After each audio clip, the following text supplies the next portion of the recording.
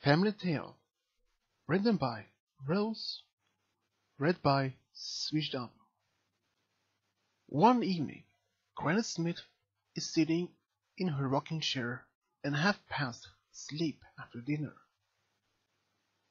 Apple Bloom walked in, and she walked up to her grandmother.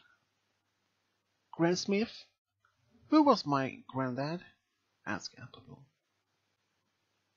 Granny Smith looks at her granddaughter with a smile. Bloom is smiling back to her grandmother. How will you want to know about him? asked Granny Smith.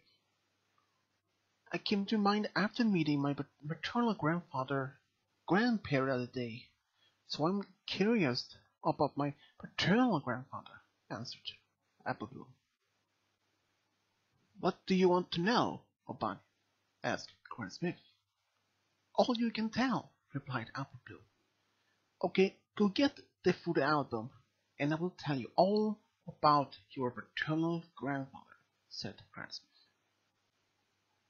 Granny Smith rises from the rocking chair and sits on the couch. Apple Bloom went to the bookshelf and fetched a photo album and went to the couch. Sit down, and I will tell you. Back then, everyone called me Apple Pie. Paternal grandfather, Haystack, was born in Nottingham, said Granny Smith. Why did he come to Ponyville? asked Bloom. He didn't like the big, big city life, and chose to move here for a calmer and wanted to start his own farm, said Granny Smith. He had a good time in Ponyville than in a big city and had many good friends here, said Granny Smith.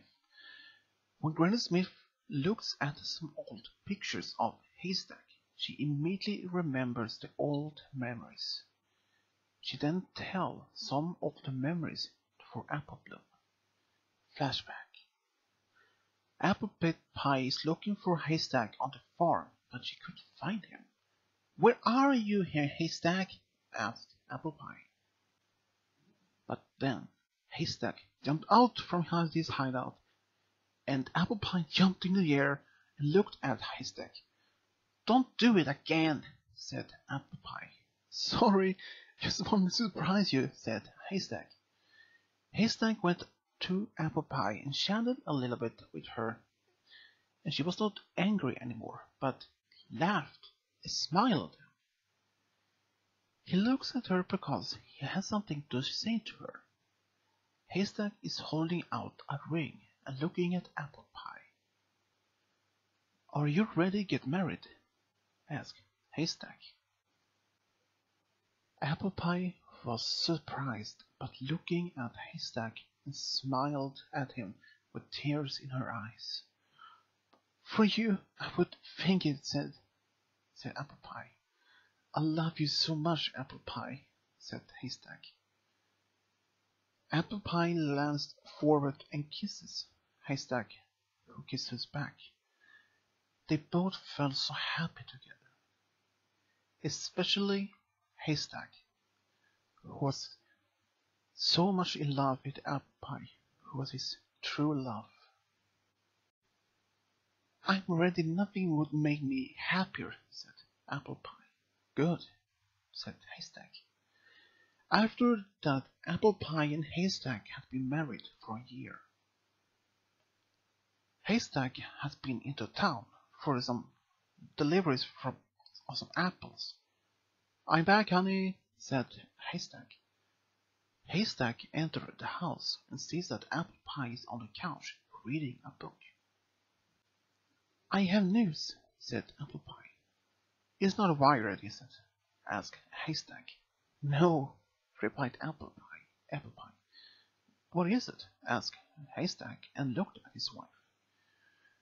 You will be a father soon, replied Apple Pie. That great news, said Haystack. Haystack walked up to his wife and hugged her and had tears in his eyes and nostrils with her. Even Apple Pie, she was so happy to be a mother. And she was looking forward to be a mother.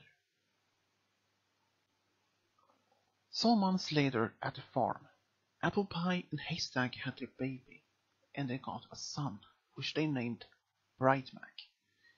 He's so cute, he's just what the farm needs, said Haystack. He looks like you, said Apple Pie. Apple Pie nuzzles with her husband while their baby was in the crib next to bed. End of the flashback. What happened to him? asked Apple Bloom. One winter, there was a fever that went through Ponyville and he got it, and he died a week later, replied Granny Smith. How sad, said Apple Bloom. Yes, I miss him, but gives Apple Blossom at the bottom of this his happy bottom. Is yours now, said Granny Smith. Thanks, Granny. I'll take care of it. And what I have to show my friends thanks for telling me, said Apple Bloom. When Apple Bloom leaves, Granny Smith gets a photo of Haystack holding Bright Mac, smiling and tears in his eyes. I cannot be away for over fifty-five years, said Granny Smith. One day, Haystack, we will meet again, said Granny Smith. The end.